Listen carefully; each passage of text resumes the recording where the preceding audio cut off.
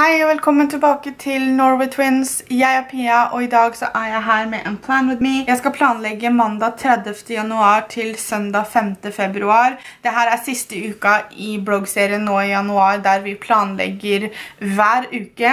Jeg skal bruke et sett som Guro har brukt eh, noe av det samme på, men jeg skal bruke et frozen set. Jeg linker videoen til Guro under her. Jeg linker også alle butikkene jeg nevner i løpet av videoen, sånn at dere kan gå inn og se på klistermerkene dømmes. Mitt sett jeg skal bruke er et grønt et som er med Anna.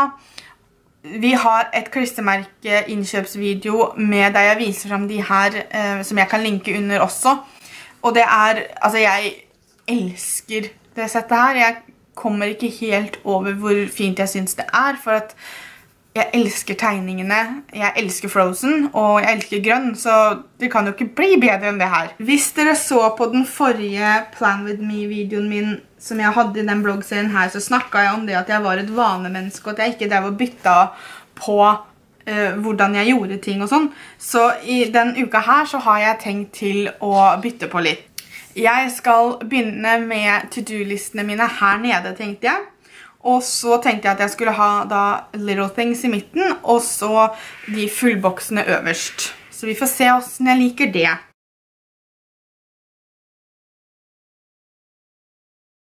Jeg liker det settet her, for det kommer faktisk med sånne Little Things klistermerker. Men som vanlig så skal jeg bruke klistermerkene fra Joyce Design bare til å markere YouTube-videoene. Fordi at det følger jo ikke med YouTube-klistermerker. Jeg ser det er tre YouTube-klistermerker her, men jeg hadde jo trengt fem. Så derfor så bruker jeg bare da de vanlige røde som jeg alltid bruker. Jeg beklager hvis det er en del skygger og sånn på, på videoen i dag, men jeg har hatt litt problemer med lyset her inne. Jeg får ikke lyset til å bli riktig, så jeg måtte bare jobbe med det jeg klarte. I settet så følger det med sånne middagsklistermerker, og det hadde vi ikke forrige gang, så derfor så kan jeg bruke dem fra settet, og det liker jeg. Jeg kommer heller ikke til å markere jobbinga mi denne uka, for jeg vet ikke helt nøyaktig hvilke dager jeg skal jobbe enda. Men i settet så følger det med en sånn eh, sjekklisteboks type ting der som er hver dag. Så jeg tenkte at det kunne være jobben min, så kan jeg bare føre inn da på hvilke dager jeg skal jobbe. Jeg ser det at det er syv hjerteklistermerker, så jeg lurer på om jeg skal sette en av den hver dag også. Så har jeg på en måte en ekstra ting tilføye det dukker opp noe, om det er noe jeg vil se på på TV, eller om det er noe jeg må huske på som jeg synes passer inn i Little Things, så har jeg jo da en ekstra stående. på mandagen så setter jeg også ned en av de der pillelappene. Ikke det at jeg skal ta en pille, men jeg skal til legen den dagen, så jeg tenkte at da kan jeg bruke det til å markere den. Det følger med sånne små klissemerker med to fotavtrykk på, som jeg setter ned hver dag for at jeg skal prøve å bli flinkere nå til å gå tur oftere.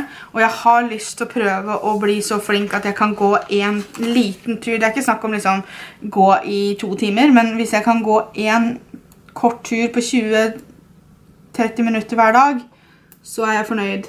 På lørdagen så setter jeg ned et av de YouTube-klistermerkene som følte med, for at jeg ser alltid hvis jeg jobber mye uka før, så ser jeg alltid på de YouTube-videoene jeg har gått glipp av på lørdagen.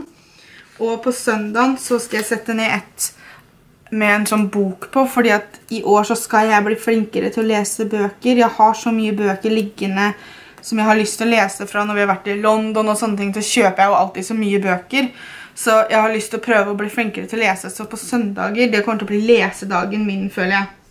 Da tror jeg ikke det er noe mer jeg kan merke av, så da bare setter jeg på Littles klistermerkene. Eller overskriftene, som det heter. Jeg har lyst til å sette ned et eller annet her også. Det er to sånne med bare en sånn stjerneting på, som jeg setter ned da på de to dagene her, for at jeg pleier ikke å være veldig nøye på at det skal være likt, men jeg følte at nå var det såpass likt at da hadde jeg lyst til å fortsette med det, for å si det sånn.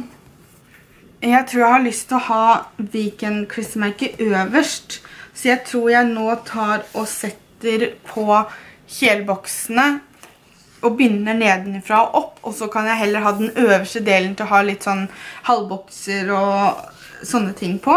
Det er to som er ikke helt like, men to av Anna som kanskje bare skipper av gårde på, veien. Så jeg tar de her i helga, så skipper man litt ekstra, for da er man glad fordi det er helg.